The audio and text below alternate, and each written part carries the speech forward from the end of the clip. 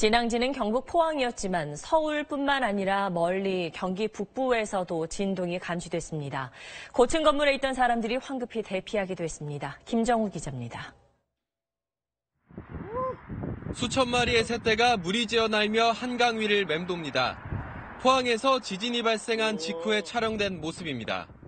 한 10여 마리 정도가 이렇게 무리지어 다니는 거는 뭐 가끔씩 보긴 했는데 이 정도의 규모의 새들이 떼지어가지고 그리고 한 곳을 계속 맴도는 것도 이상하고 오늘 포항 지진은 직선 거리로 200km가 넘게 떨어진 수도권에도 영향을 미쳤습니다.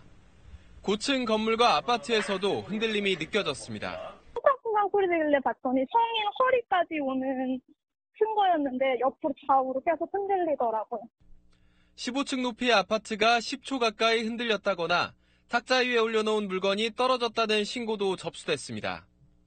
특히 도심의 고층 건물에서 근무하는 직장인들이 건물 밖으로 대피하는 일도 벌어졌습니다. 땅에 진동 울려서 어 내가 다리가 좀 힘이 약한가 이거 부들부들거려서 어 이상하다라는 느낌은 받았어요.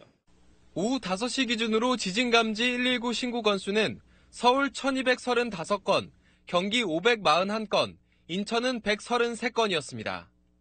하지만 수도권에선 시설물 붕괴나 건물 파손 같은 재산 피해와 인명 피해가 공식 접수된 것은 아직 없습니다. SBS 김정우입니다.